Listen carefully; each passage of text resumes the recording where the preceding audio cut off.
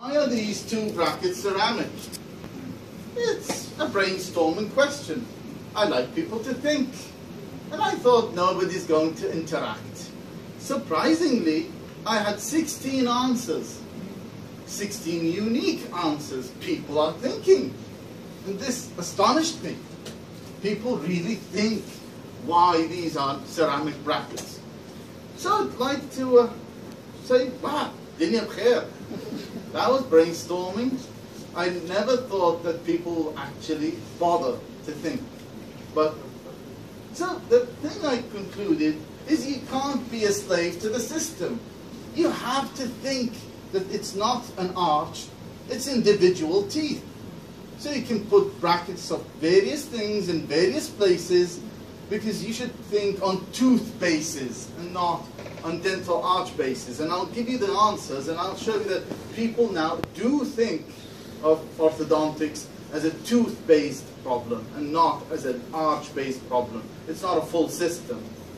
So uh, I'll ask anybody who doesn't, of course I didn't give the answer, so it's an open discussion. I'll, let's have a minute or two. What do you think?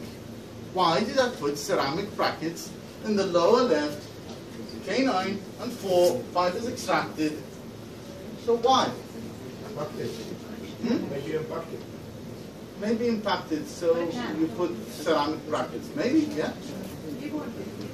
So they don't debond fast. That's okay. Probably because of anchorage. I don't understand how, but probably that's an answer.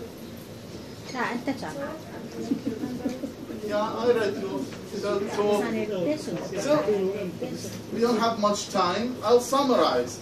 Now, what they said is control torque because they're less flexible. That's a good idea. Because, but you see, with ceramic brackets, they fracture. So it's difficult to control torque with ceramic brackets. I'd rather go for an 18 slot metal bracket. That would control torque better. Or probably change it to another bracket. But in the lower area, it's already the highest torque. So an 18 would be nicer. Then another person said rotation of teeth, where you can put more composite on one side, and that's where you rotate these teeth. That's a good idea. But I would probably move the tooth mesially, move the bracket mesially or distally, rather than put differential thickness of composite. But that's an interesting idea. Push the tooth lingually, because it's a thicker bracket. It has an in-out depth that's thicker. Hmm, that's interesting. But, well, if I'm going to think of it, I wouldn't use ceramic brackets. Probably I'll think of thicker brackets. And the thickest brackets we have in the arch are... Hmm?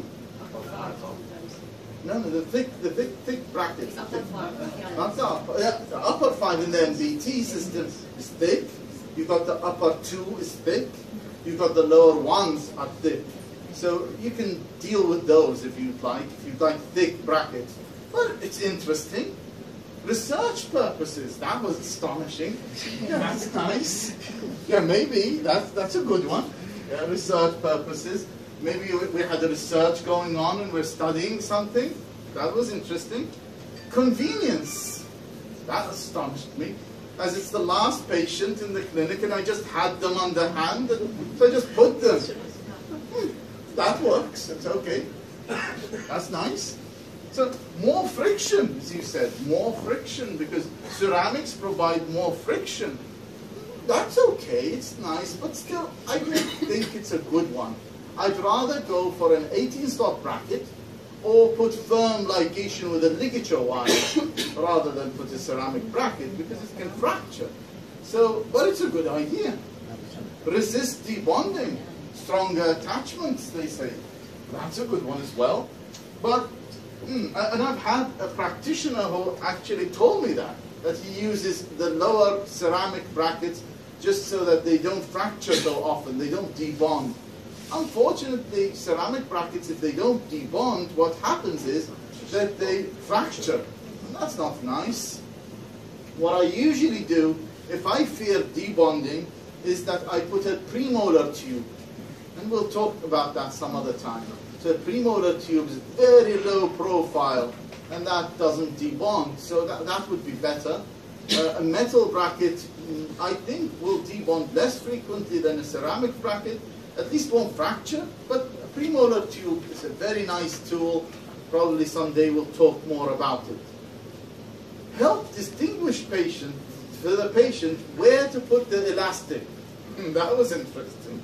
That was really interesting. So they said that you put ceramic brackets so that the patient can tell where to put the intermaxillary elastic. Hmm, that was nice. But I would probably just put a colored elastic if I wanted. And just tell them put the green one to the green one rather than put the ceramic one to the ceramic one. At least I can remove the green if I changed my mind. Um, well, it was a nice idea. And then came changing torque. And uh, this is a special bracket which I used. It's an upper or a lower or something. And I wanted as a reminder for me. And that was interesting as well.